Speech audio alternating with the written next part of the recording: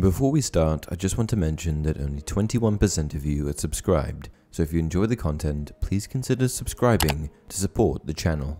Hey everyone, welcome to another installment of Harry Potter Theory.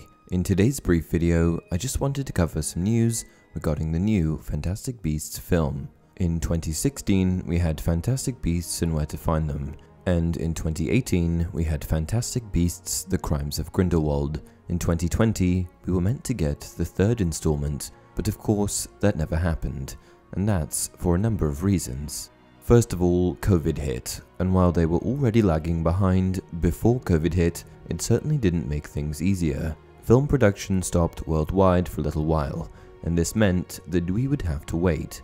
Additionally, it has been expressed by Warner Brothers and Rowling that the screenplay underwent a rewrite.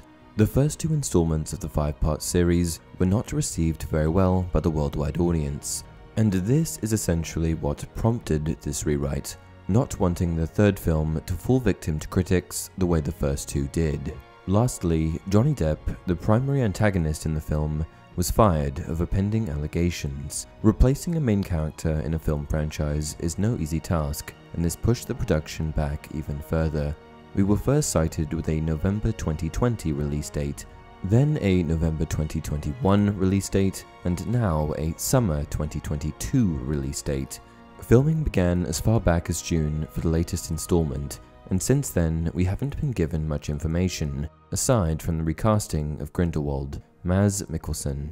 So, what's the current state of affairs with regards to the Fantastic Beasts film franchise? As it turns out, things might not actually be that good. Let me just start by saying that I've done my due diligence with this news, but can't say with certainty that it's entirely true. Anyway, let's get into it. According to an insider with the film, Fantastic Beasts 3 is in big trouble. In fact, it's in so much trouble that it could potentially end up as an HBO Max exclusive rather than a giant blockbuster film. Moving the film to a platform like HBO Max away from the main theaters would be a huge deal, and that's why I'm questioning the validity of the news. However, it does kind of make sense. It's not like things have gone swimmingly for the franchise so far. As it stands, the most recent installment, The Crimes of Grindelwald, was the lowest grossing and worst reviewed film from the entire Harry Potter universe. Mix that in with all of the problems pertaining to casting and a global pandemic, and you've got yourself a bigger problem.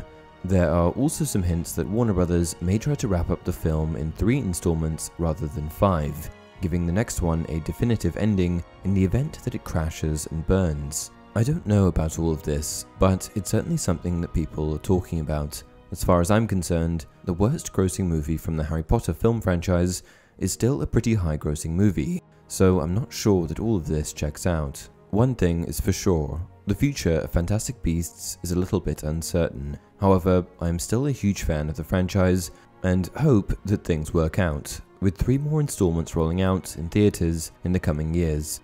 Hopefully we get a teaser trailer soon so that we can get a better idea of what we're in for. That's it for this video. If you enjoyed the content, please like the video and subscribe to the channel. Until next time, it does not do to dwell on dreams and forget to live.